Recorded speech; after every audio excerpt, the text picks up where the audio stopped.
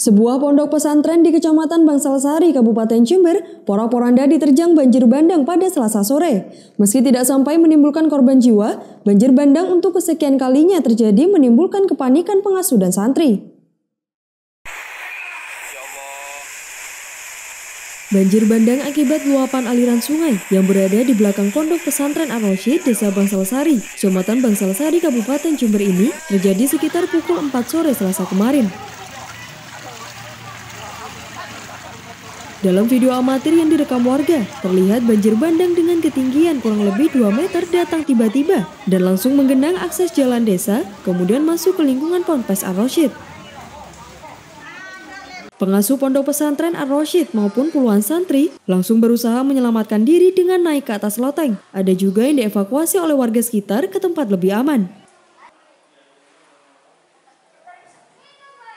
Pada selasa malam, banjir bandang telah surut, namun menyisakan kerusakan dan lumpur pekat di dalam lingkungan pondok. Bahkan dinding bangunan yang berbatasan dengan sungai juga jebol.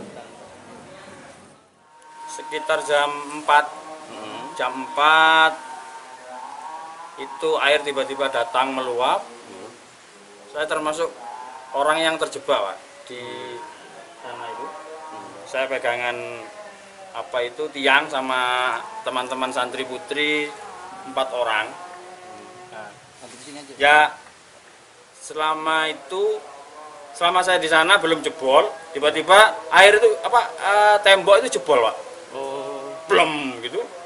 Sudah wes nggak bisa ke mana-mana saya pak, menyelamatkan diri pegangan di tiang itu wes. Masuk di kawasan komplek.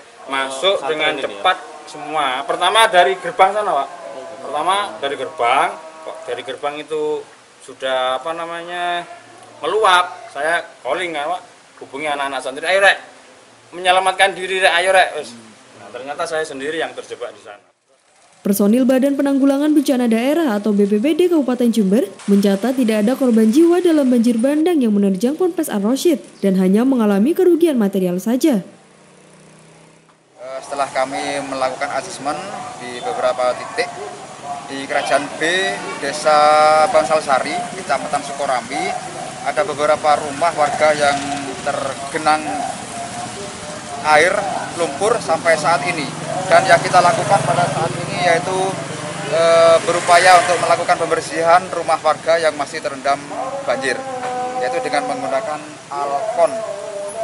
Begitu. Ketebalan lumpur kira-kira sampai berapa sentimeter? ketebalan itu sampai 30 ada yang 50 cm Banjir bandang akibat luapan aliran sungai saat intensitas curah hujan tinggi di kawasan lereng Gunung Argopuro ini juga menyisakan lumpur pekat di jalan penghubung antar desa dan mengganggu perjalanan pengendara motor.